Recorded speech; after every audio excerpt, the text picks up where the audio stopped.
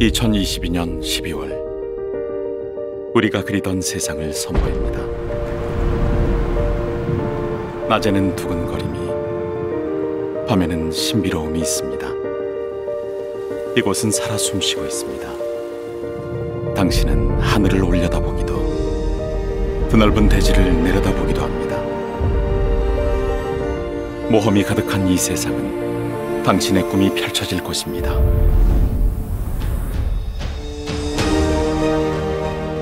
각자의 방식으로 모험을 하고 모든 이가 같이 즐거울 수 있는 이곳에서 당신을 기다리겠습니다.